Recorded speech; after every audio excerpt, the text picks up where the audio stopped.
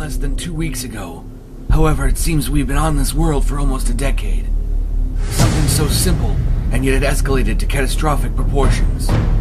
The old Dr. Ivo Robotnik, in yet another attempt to build his empire, crossed another line and played God in the creation of living creatures, genetically changed. An idea that should have died with my creator, Professor Gerald Robotnik, using the DNA of two of the most powerful beings in all Mobius, by the manipulation of chaos energy, and with the aid of the Chaos Emeralds, the Doctor created this abomination.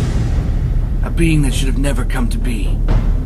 He called himself Seelkadoom. With this much power, Seelkadoom became independent, refusing any order from his own master and creator.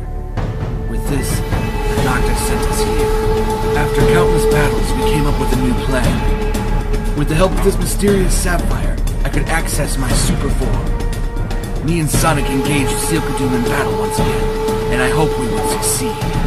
Much to our surprise, we ended up just like we started this journey. On our knees. Almost no hope left. With this, the doctor sent us here. After countless battles, we came up with a new plan. With the help of this mysterious sapphire, I could access my super form. Me and Sonic engaged Seelkadoom in battle once again, and I hope we will succeed. Much to our surprise, we ended up just like we started this journey. On our knees.